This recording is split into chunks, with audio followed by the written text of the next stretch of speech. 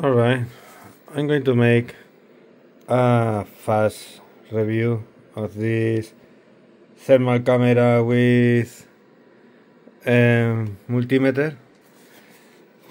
It says that it has 320 by 320 pixels, so for a camera would be high resolution, quite high resolution.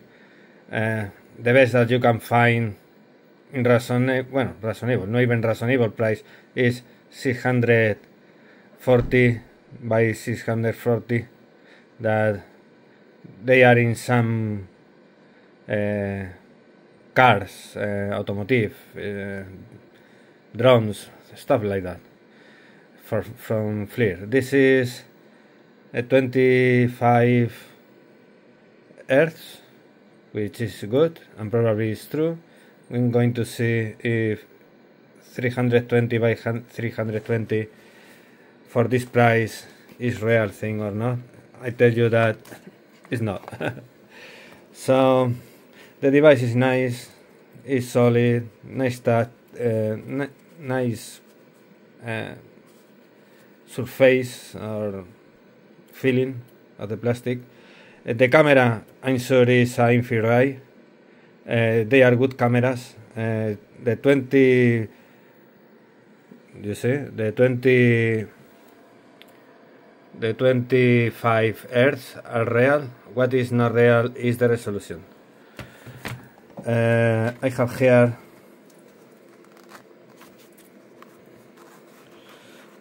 another infrared USB for electronics uh, is is the two T2S Plus and well I need to take it out sorry.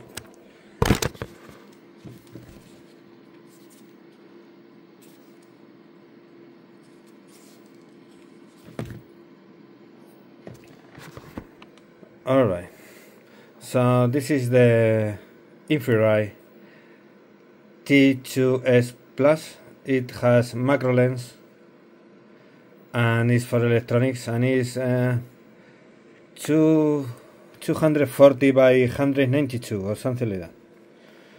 And this in theory is 320 by 320. And I have for it has uh, a adapter, a option that is ma macro lens like should be that one. This is this is a adjustable focus. So you can do infinite and macro so bueno the lens uh, in a certain distance get close is able to focus but not as close like that one could be nice, could be okay, but the resolution is very low. This this camera is I don't know 192 by 80 or something like that. It's the lowest one. Uh, this is no, not even that one, and much less uh, what is said in the in the device. Is low resolution. I'm going to remove one second.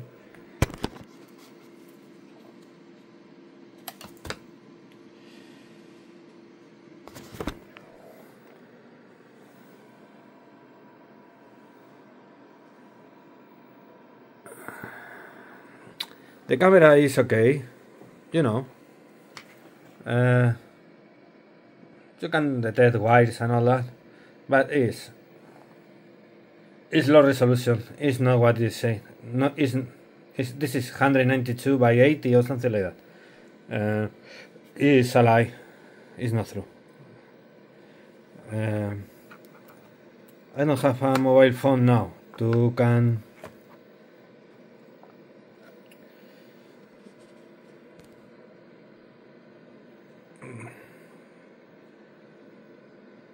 to can connect this this camera I don't think will allow me so you know uh,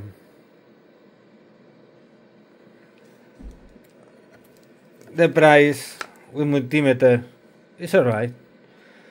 Low distance is alright. You need a wide close, it's alright with the adapter, but uh, it's not what promised. So not even the half.